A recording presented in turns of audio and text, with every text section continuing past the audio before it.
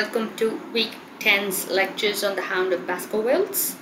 In today's session, I am going to continue the discussion on the nature of Gothic crime and the mythical subtext of this novel. Let's talk about the Gothic curse.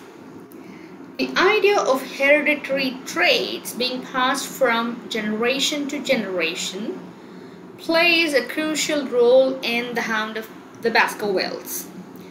It is the similarity between a portrait of Sir Hugo Baskerville, the villainous ancestor with whom the curse originates, and one of the present day characters in the novel that enables Holmes to solve the mystery. We saw in the previous session how the curse, uh, the family curse, is an important element of the Gothic uh, mode. This curse connects the past with the present. One of the ancestors of the present day uh, character or characters um, passes on uh, the problematic heritage uh, from the previous years to the present and something similar happens in the Hound of Baskervilles too. The curse originates with uh, Sir Hugo Baskerville. Um, it originates in the 18th century.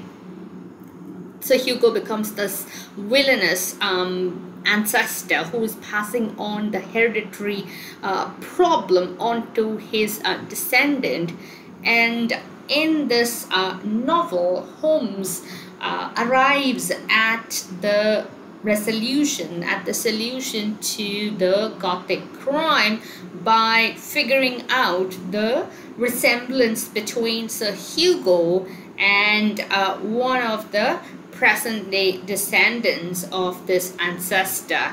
So Holmes is uh, sharp enough to work out the similarity between the past and the present. The novel also highlights our inability to escape the past in other ways. The fugitive murderer Selden, for example, hides out on the moors in one of the many prehistoric stone dwellings that litter the landscape. This pairing of the criminal and the primitive early settlers in the area emphasizes how our frequently violent and ancestry occasionally re-emerges, re-emerges in the present. The broken remains of the stone dwellings also act as a reminder of how previous attempts to tame the landscape have often ended in failure there are plenty of significant points in this passage, uh, in this critical passage by Greg Buzwell. Buzwell is trying to uh, establish the connection between um, the setting in which the murderer who's wandering um, in the moors is hiding and the uh, idea of the past.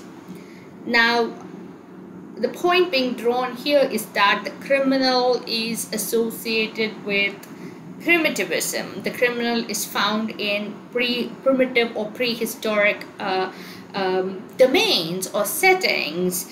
And um, it's also very interesting to see how Dartmoor itself becomes somehow primitive, somehow removed from the present in some sense, removed from the urban, sophisticated um, landscape of London. And further, uh, Buzwell points out that you know the broken remains of um, the early settlers is an indication that it had been difficult for humans to tame the landscape and um, the largest significance one can draw is that uh, people like Holmes attempt to tame mythical subtexts, um, legends, but uh, ultimately there is um, an element of failure associated with such attempts. The landscape even becomes a metaphor for the inex- inexplicable in the modern world. As Dr. Watson observes, life has become like that great Grimpen mire, with little green patches everywhere into which one may sink and with no guide to point the track.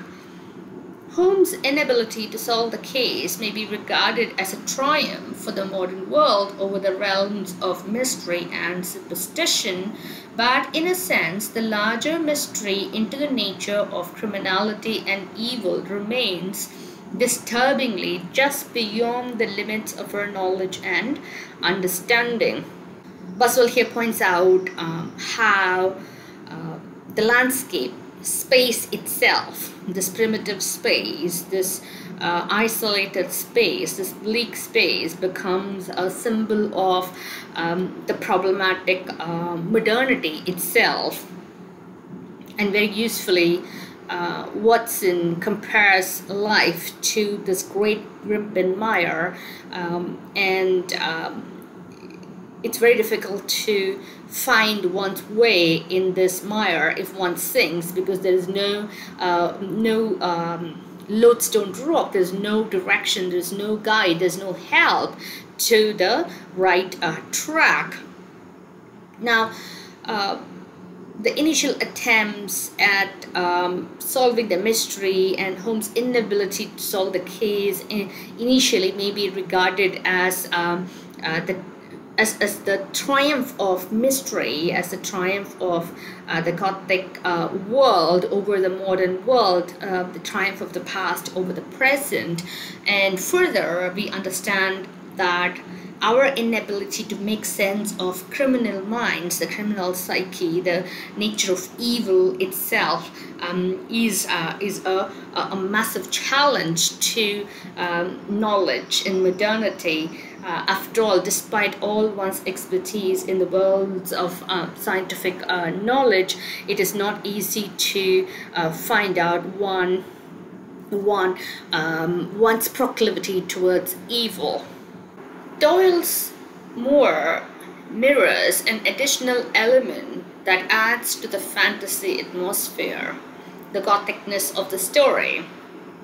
Kathleen Spencer contends that Gothic tales are the first fantastic fictions for they provide a textual confrontation of two models of reality Todorov would argue that the Gothic elements in The Hound place the work in the fantastic uncanny, since the events that seem supernatural throughout a story uh, receive a rational explanation at its end. We have been discussing how the landscape is uh, contributing to the Gothic atmosphere of this uh, novel. So the Gothicness is constructed by um, the Moors, the Dartmoor itself. Um, Kathleen Spencer, a critic, um, a critic uh, argues that um, the Gothic narratives are, in the first place, um, are fantastic fictions. Um, firstly, because um, they bring uh, an element of fantasy, an unreal uh, perspective to the narrator. To the narrator. In fact, there is this real world and there is this fantastic world, and when they clash, um, things become uh, complex. Todorov argues that um, the hound could be placed in the context of the fantastic uncanny um, uncanny is a useful word to um, analyze the Gothic mode because um, in the Gothic narrative, uh, the real world takes on a suddenly a strange um, perspective. And in uh, Gothic fiction, such as The Hound, uh, the apparently um, strange things become uh, rationally explicable at the end. So the real becomes unreal, the unreal becomes uh, real, and this kind of treatment is uh, interesting um, to look at the uh, to study the nature of the Gothic. And indeed, Doyle's novel does do this, but only if we believe wholeheartedly in the logical reasoning of Holmes. When we combine the Gothic and fantastic elements, were left with a much more ambiguous text, one that embraces explanation and mystery. Spencer defines the urban Gothic as that modern version of the fantastic marked by its dependence on empiricism and the discourse of science. To be modern, continues Spencer, also means that science is the metaphor that rules human interactions with the universe, so the new fantastic adopts the discourse of empiricism even to describe and manipulate supernatural phenomena. The argument here is that there is the world of reason and there is the world of mystery and both are conflated in The Hound of Baskervilles. Kathleen Spencer's um, analysis is used to to throw a light on the way the Gothic functions in um, Doyle's The Hound of Baskervilles. According to Spencer, the urban Gothic is a Gothic where the fantastic, the otherworldly, the uncanny, um, the strange um, domain depends uh, for its functioning on the world of empiricism or the world of science.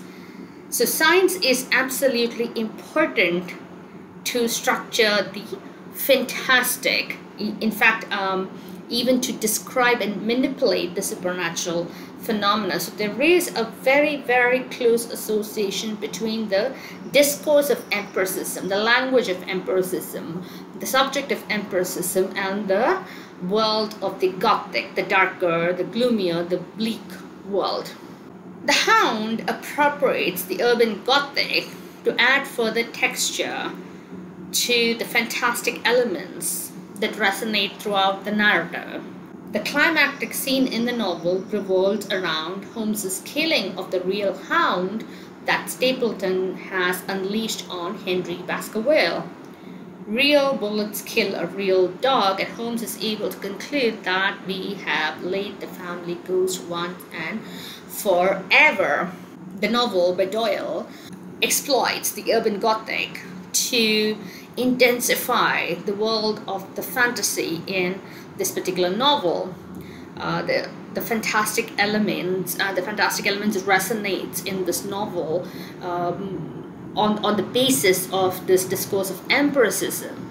Um, the climax to this novel happens when uh, Stapleton uh, uses a real dog, uh, a real hound to attack Henry Baskerville, and um, the dog is killed by a real bullet. And the world of empiricism, real, tangible, concrete, uh, scientific um, knowledge and equipment are used to lay the family ghost down forever. So you can see how empiricism apparently dominates this world of uh, mystery. Watson describes the flesh and blood hound as a terrible creature. It was not a pure bloodhound, it was not a pure mastiff, but it appeared to be a combination of the two gaunt, savage, and as large as a small lioness. Even now, in the bluish, uh, even now in the stillness of death, the huge jaws seemed to be dripping with a bluish flame, and small, deep set, cruel eyes were ringed with fire. This is a fantastic uh, description of this hound um, the monstrous creature in this uh, novel.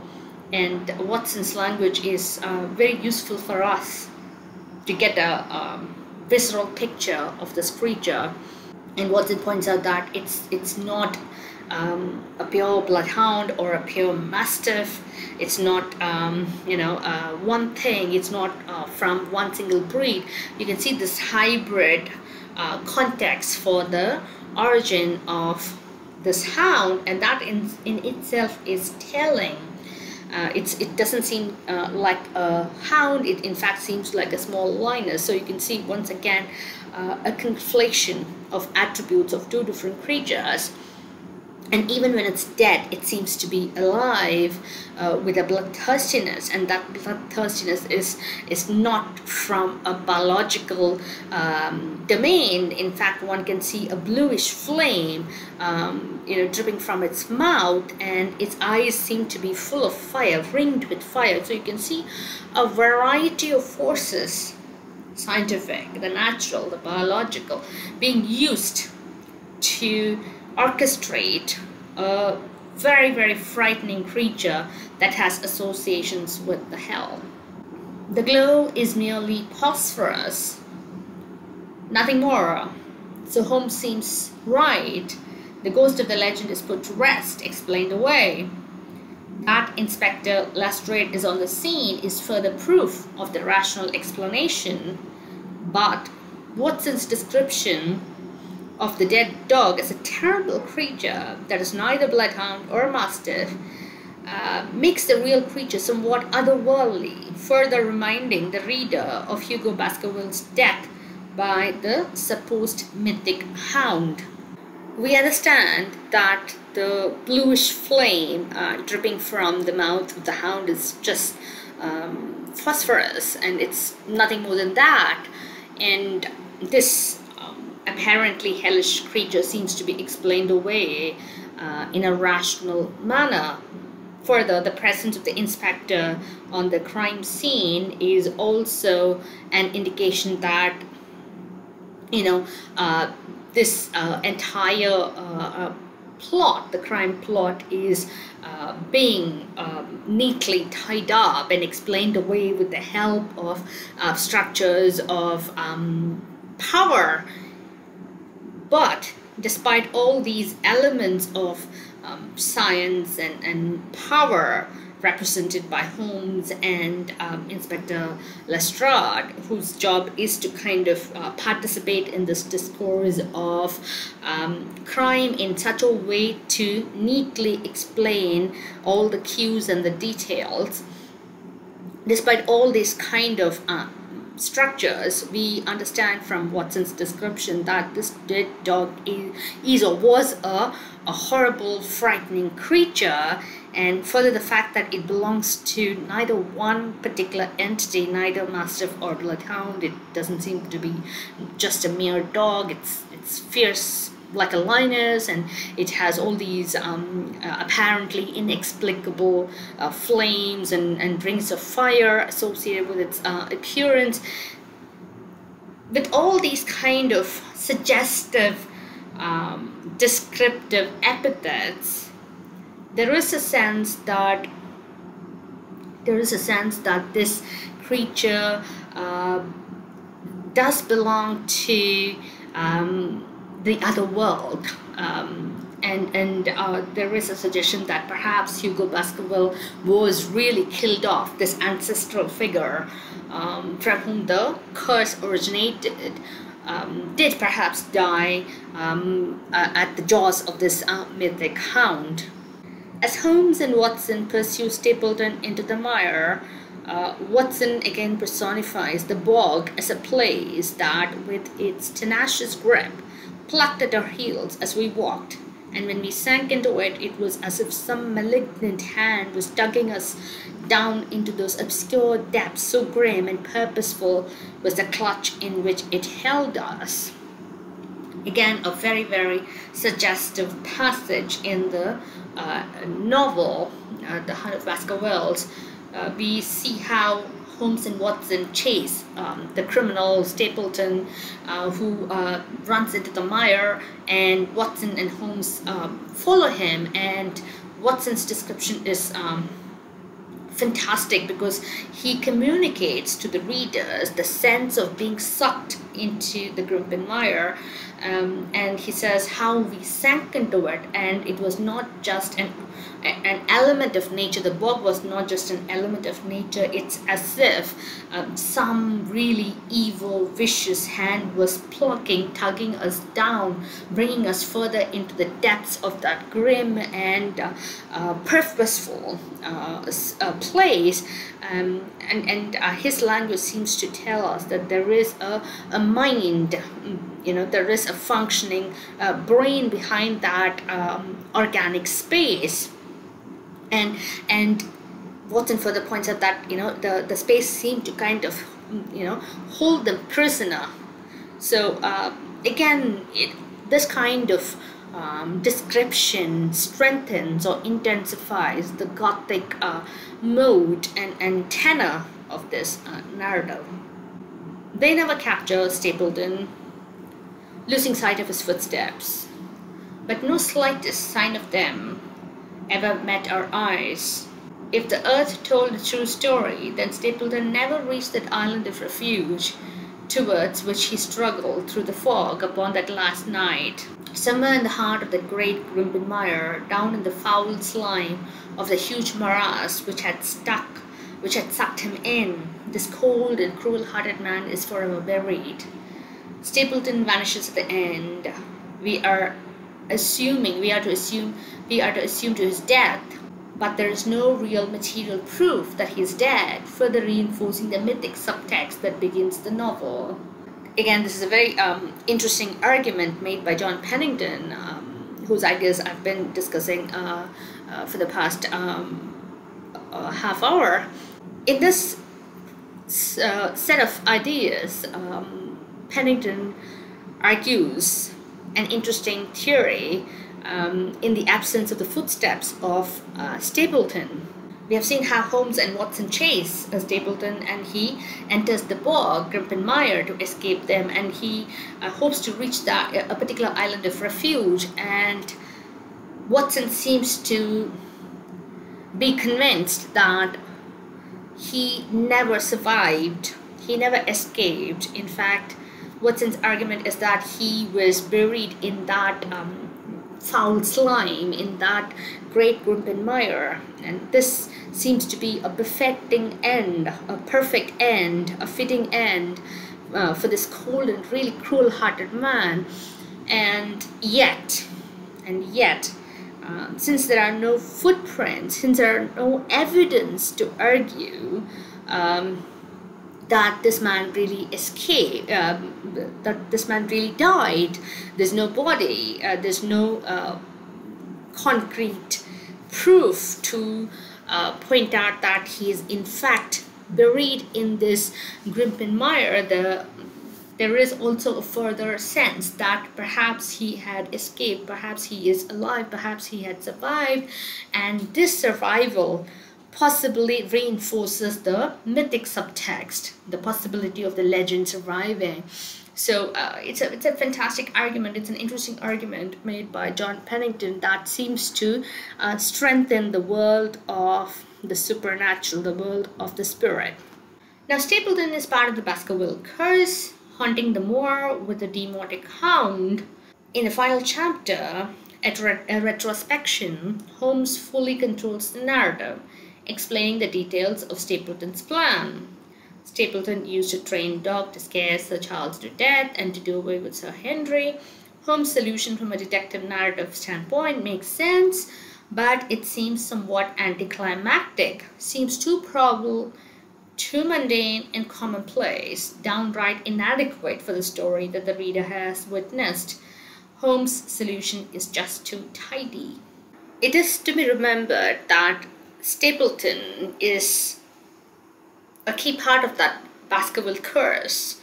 And in the certainty that Stapleton is dead, or in the absence of that certainty that Stapleton is dead, then there is a possibility that the haunting seems to continue, that the haunting could possibly continue, um, that the demonic hound could be um, visiting the moors again. In the final chapter, we see that Holmes is uh, trying to explain away everything with utter logic. He tells the, uh, you know, uh, the readers who are um, following the narrative as well as um, his audience that Stapleton used a trained dog to scare uh, Sir Charles to death, who had a weak heart, and therefore he collapsed uh, at the sight of this really frightening um, demonic hound.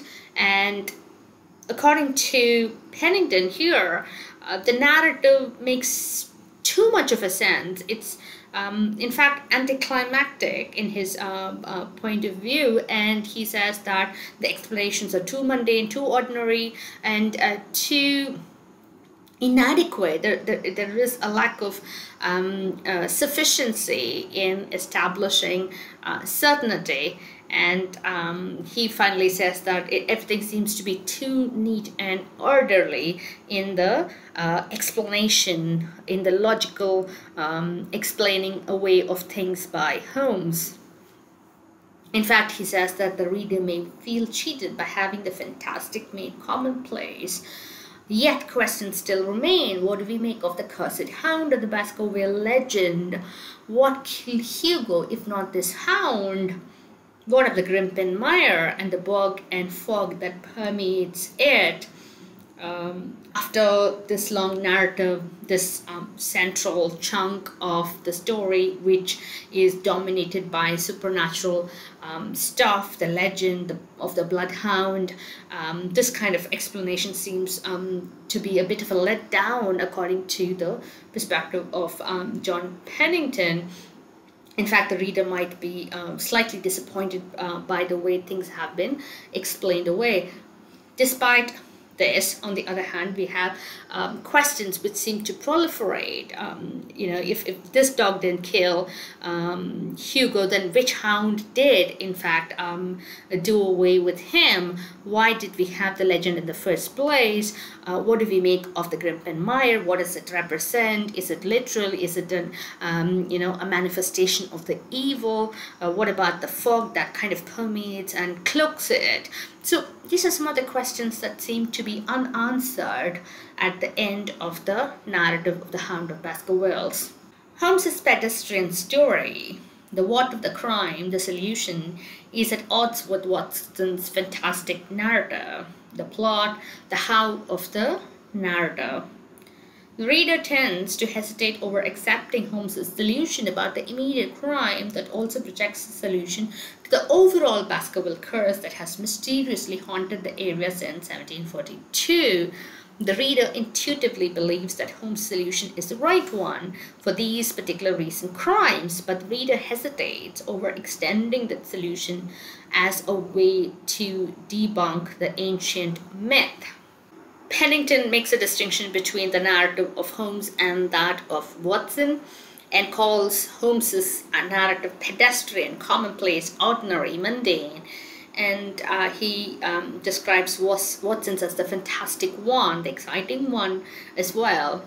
The reader uh, is hesitant, according to Pennington, to uh, accept the explanation of Holmes uh, because um, the Baskerville curse seems to have uh, haunted you know have seems to have been around since 1742 since the 18th century uh, the reader could buy holmes's theory intuitively for the present uh, crimes for the recent crimes but um, pennington argues that it becomes difficult for the reader to um, extend this solution to as far uh, back as 1742 so it becomes difficult for the readers to reject the ancient myth, to reject the uh, legend of this hound. And that by implication means that the world of mystery cannot be brushed aside. On the one hand, Doyle, as the creator of Holmes, is a scientific materialist bent on the logical art of deduction. On the other hand, Doyle, as a spiritualist, believes in otherworldly phenomena. This tension in Doyle's worldview becomes artistically realized in his greatest Holmes full-length detective novel, The Hound of Baskervilles. From a reading of Doyle's biography, we understand that Doyle was both a man of science as well as a man who believed in the world of the spirits. He had one foot in um, science, the other foot in the domain of um, the supernatural. So that kind of tension that coexisted in Doyle's personality is reflected uh, in The Hound of Baskervilles too. Thank you for watching. I'll continue the next session.